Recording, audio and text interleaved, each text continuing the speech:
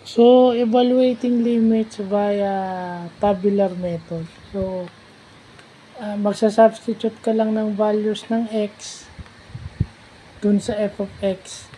Kaso, ang pagbabasya mo from, from the left, mas mababa sa x. From the right, mas mataas sa x.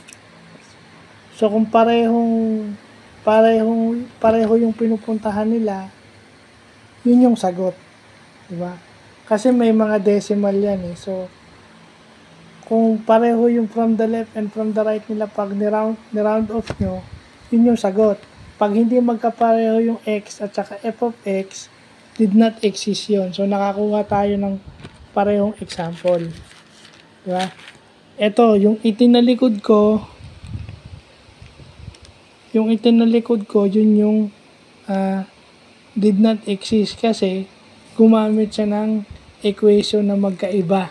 Okay? Yun yung clue. Pag gumamit ka ng magkaibang equation, ah, did not exist. Pero dun sa kabila,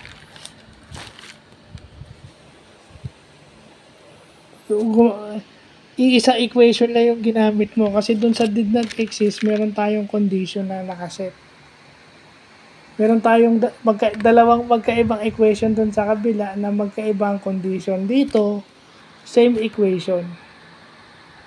So, sa- pag same equation, nakuha ko kasi example, dito, parehong equation, and then, ah, ang gagawin mo lang, parang from the left, yung mas mataas sa kanya, ah, from the left, yung mas mababa sa kanya, from the right, ah, yung mas mataas sa kanya. So, number line, kasi from the left, pababa yun, negative yun eh. From the right, positive yun, so pataas.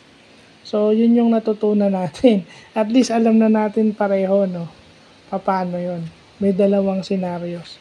Although madali siya, pero titignan mo lang din yung ano, titignan mo kasi may given na may dalawang magkaibang equation tapos may condition, di ba? X is greater than or equal, less than or equal.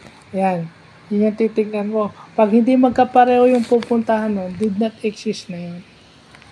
Ang ibig sabihin lang naman nun, habang papunta yung x dun sa kanyang sa kanyang limit, habang papunta yung x dun sa specific number, yung f of x din is papunta dun sa specific number na yun.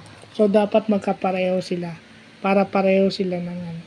Para pwede nating masabi na yung condition nun is yung specific number na yun. So, yun lang po.